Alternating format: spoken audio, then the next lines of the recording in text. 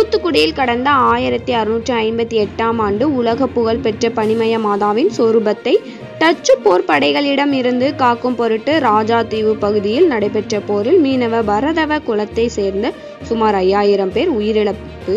பரத நலசங்கம் சார்பில் மெழுகுவர்த்தி ஏந்தி நினைவைந்தல். தூத்துக்குடியில் பரதவர் மீனவர் சார்பில் பதினாறாம் நூற்றாண்டு முத்துக்குளிப்பில் ஈடுபட்டு வந்தனர். இதன் காரணமாக செல்வ செழிப்புடன் வாழ்ந்து வந்தனர். இந்நிலையில் முத்துக்களை அபகரிக்கும் பொருட்டு கடந்த பதினாறாம் நூற்றாண்டில் அவ்வப்போது தென்பகுதியை ஆண்ட நாயக்க மன்னர்கள் மற்றும் டச்சுக்காரர்கள் முத்துக்களை அபகரிக்க முயன்றனர். இதற்காக எதிராகவே பல்வேறு கட்டங்களில் போர் நடைபெற்று வந்தது. இறுதியாக கடந்த ஆயிரத்தி ஐநூற்றி முப்பத்தி எட்டாம் ஆண்டு தூத்துக்குடியில் உள்ள உலக புகழ் பெற்ற பனிமய மாதா ஆலயம் மற்றும் அதை சுற்றியுள்ள பகுதிகளை டச்சுக்காரர்கள் தீக்கிரையாக்கினர். இதையடுத்து ஆலயத்தில் இருந்த பனிமய மாதா சொரூபத்தை பாதுகாக்கும் பொருட்டு தூத்துக்குடி அருகே உள்ள ராஜாதீவு பகுதியில் சுமார் பத்தாயிரம் வரதவ மீன மக்கள் இருந்தனர்.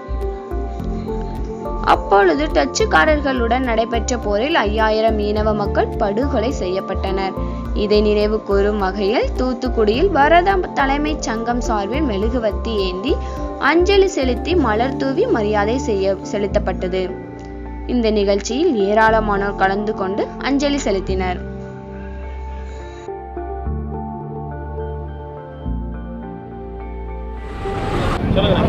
பதினோராம் நூற்றாண்டின் முற்பகுதியிலேயே முத்துக்குழித்துறையானது முத்துச்சலாபத்திற்கு பெயர் பெற்றது. இன்று நாம் எவ்வாறு நெல்மணிகளை படிகொண்டு அளந்து போடுகிறோமோ அதுபோல் இந்த பகுதியில் முத்துக்களை படிகொண்டு அளந்திருக்கிறார்கள். அவ்வளவு செல்வ செழிப்பாக இருந்த பகுதி. ஆகவே அதிலும் நமது ஆயிரக்கணக்கான இளைஞர்கள் இறந்தார்கள். ஆயிரத்தி அறுநூற்றி ஐம்பத்தி எட்டிலே ராஜதீவு என்னும் பகுதியில் இங்கே டச்சுக்காரர்கள் பொறுப்பெடுக்கிறார்கள். ஆங்கிலேயர்கள் இங்கே நவண்டு போகின்றனர். டச்சுக்காரர்கள் பொறுப்பெடுக்கும் பொழுது அவர்கள் பதிமத்தினாக இருந்தார்கள் நம்ம திருமுறை தழுவிய காரணத்தினால் இங்கிருந்த மக்களை தீக்கரையாக்குறார்கள் குடிசைகள் முதற்கொண்டு எல்லாவற்றையும் தீக்கரையாகி கோ- கோயிலையும் தீக்கரையாக்குறார்கள் ஆகவே இந்த எங்க ஆத்தாவை சந்திரனா மூலம் எங்களுக்கு சவரியால் தரப்பட்ட அந்த ஆத்தாளை நாம் காப்பாற்றும் பொருட்டு ராஜதேவிலே எங்களுடைய பணிமை தாயை கொண்டு நிலைநிறுத்துகிறோம். அங்கும் எங்களை வந்து ஒரே நாளிலே ஐயாயிரம் பேரை கொல்லக்கூடிய ஒரு சூழல் உருவாகிறது. ஆக முழுக்க முழுக்க இரத்த சாட்சிகளாக இந்த மறைக்காகவும் இந்த மக்கள் மண்ணுக்காகவும் இந்த மக்களுக்காகவும் இரத்த சாட்சிகளாக இருந்த பரதகுல வீர சிங்கங்களை நினைவுறுத்தும் வகையில் இந்த நினைவேந்தலை கொண்டாடுகிறோம். ஆண்டுதோறும் இந்த நினைவேந்தல் கொண்டாடப்படும். செய்திகளை உடனுக்குடன் தெரிந்து கொள்ள உங்கள் கரம் டிவியை சப்ஸ்கிரைப் செய்யுங்கள். அதோடு பெல் பட்டனையும் கிளிக் செய்யுங்கள்.